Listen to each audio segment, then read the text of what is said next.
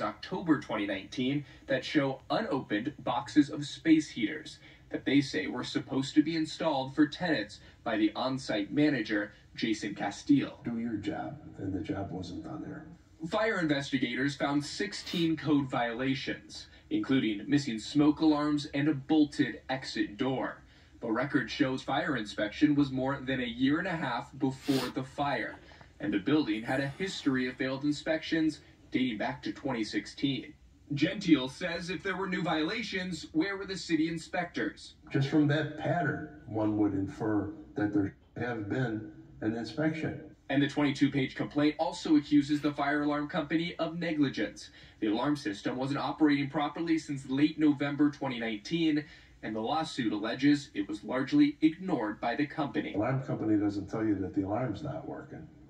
And if the city doesn't come and tell you that you've got code problems, you're not the only one responding. Tonight, we've actively reached out to all of the defendants listed on the complaint. So far, we've only heard back from the city, who says they do not comment on pending litigation. Reporting downtown, I'm Drew Andre, Fox 5 News, local, Las Vegas. More local news now for the winter season. Inviting guests to check It's a cold game. They just trapped these people in this building that caught on fire. These are some new outdoor dining pods. And they trying to blame them for their negligence. I find this important based on I'm in the law game right now and just trying to grasp how a negligent slumlord who's been cited, who clearly is projecting and minimizing his responsibility by trying to blame the person where the fire started, by trying to blame the fire alarm company.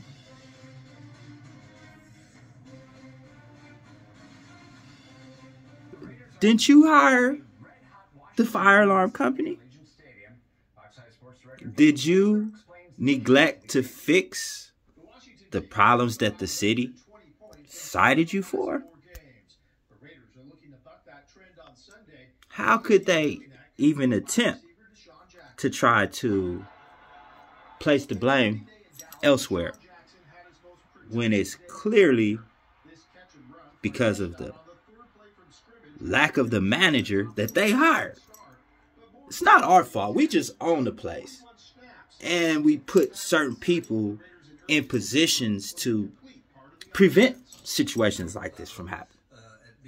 Now, I'm going to be boldly honest with something that may not be very popular, but let's be honest.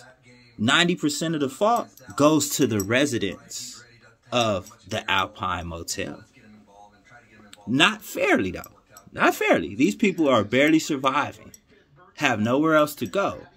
So, thus, the management company the owner of the Alpine took advantage of these people's social dynamic situation, which is a violation of the Constitution because you cannot be discriminated on because of uh, colors, race, religion, or your social dynamics.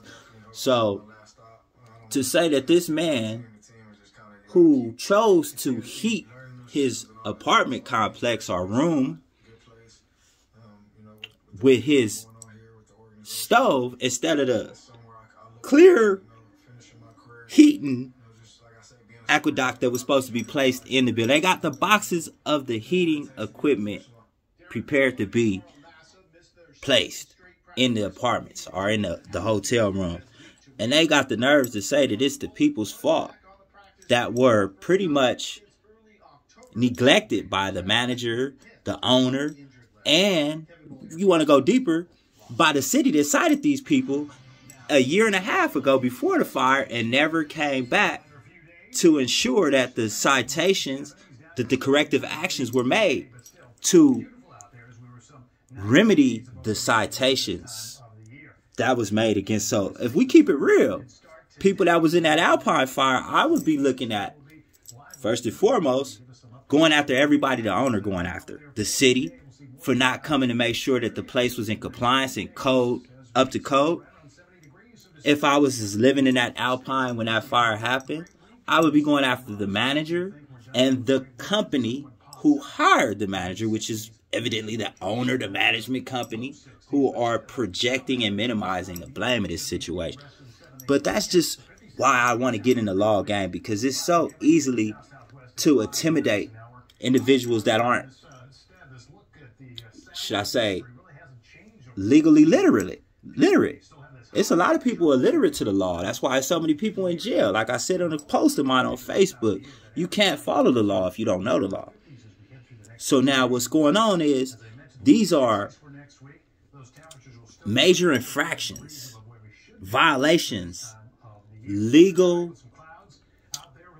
grounds for criminal actions. That's like manslaughter. You made a death trap for these individuals as the landlord with a, a, a, specific list of responsibilities that you have to adhere to as a owner, property owner, tenant, landlord.